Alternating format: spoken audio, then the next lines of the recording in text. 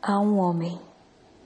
Ele é o primeiro que me lembra frases de livros, cenas de filmes e pedaços de sonhos. Pede a minha casa, assina os papéis.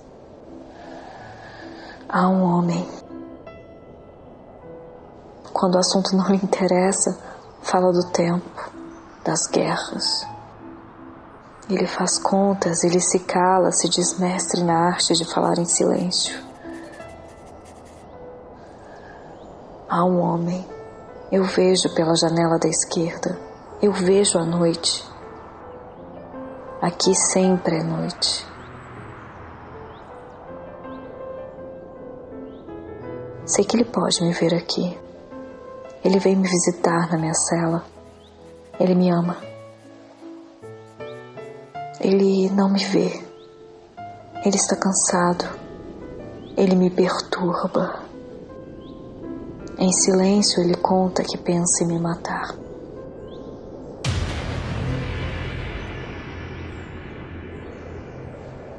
Imagino matá-lo.